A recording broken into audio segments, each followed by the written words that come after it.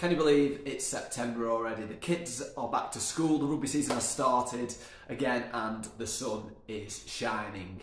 It also means it's time to look at how the property market has performed in August for PR44 and PR45 postcode areas. At Moving Works, we've seen a lot of new properties coming to the market. However, across the board, this is down slightly. 30 for this month versus 36 last month and this time last year. And the story of August is one of slight decrease in the figures across the board, which probably is to be expected with holidays, and also if you consider the fact that July's figures were very, very encouraging. Available stock remains significantly up versus last year, with 27% more property for buyers to choose from this August versus last, but this figure has been quite static now for the last few months, even though new instructions are greater than sales being agreed. And this is down to some sellers losing faith and withdrawing from the market before they're able to achieve a sale.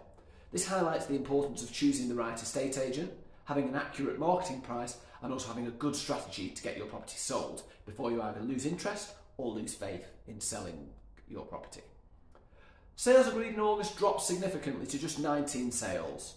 That's back to the levels we saw in March and April this year, but my prediction is that we'll see a strong increase in September. And it seems that there is often 16 price reductions in a month.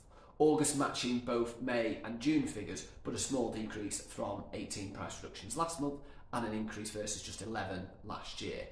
The market continues to show the importance of going onto the market for sale at the right price.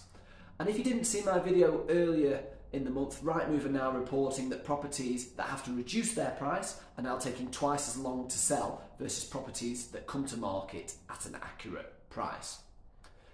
My current predictions are that September and October will be busy months in the market. They're normally quite a good time to sell. I think there's going to be plenty of new stock coming onto the market for sale as people focus on moving this year.